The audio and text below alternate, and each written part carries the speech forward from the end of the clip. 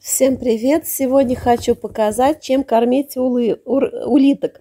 Вот есть такие вот лепешечки, это специальный корм для них, продается в зоомагазине. Вот смотрите, бросаем лепешечку одну, она падает на дно, можно на ночь, можно просто днем. И потом эта улитка эту лепешечку съедает. А, вот смотрите, на дне она лежит уже.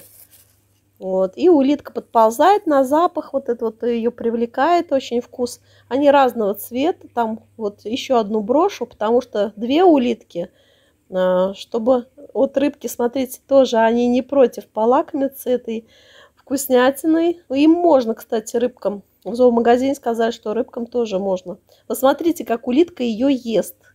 Хочу показать вам прям наглядно, крупным планом, как она ее прям засасывает, так скажем, всасывает в себя. Вы посмотрите, с каким удовольствием она кушает ее вообще просто прелесть. Вот. Для рыбок есть отдельный корм. Я вам показывала в другом видео. Кто не видел, посмотрите. Там тоже очень интересные такие лепешечки а, для корма рыб идут специальные. Причем их надо прям очень-очень мало, прям чуть-чуть капельку. Ну, смотря сколько рыб, конечно, в аквариуме. А, ну, для маленького количества надо очень мало, а, потому что они очень питательные и а, разбухают. Вот смотрите, как она ее ест. Это вообще, это такое чудо. Посмотрите, как она ее кушает, а.